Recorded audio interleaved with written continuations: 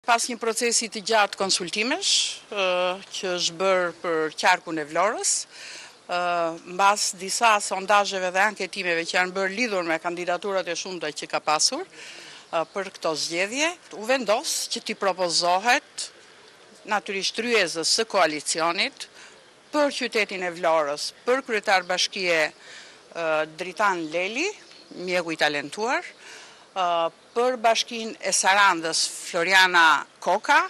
dhe për bashkinë e Himarës Gjergj Goro. Janë bërë testime, konsultime dhe sondazhe direkte dhe indirekte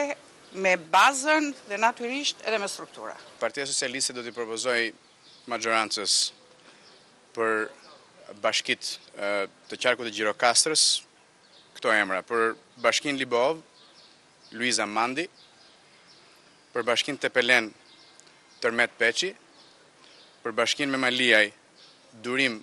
Roshi, për bashkinë Përmet, Gilberto Jaçe dhe për bashkinë Këlcyrë,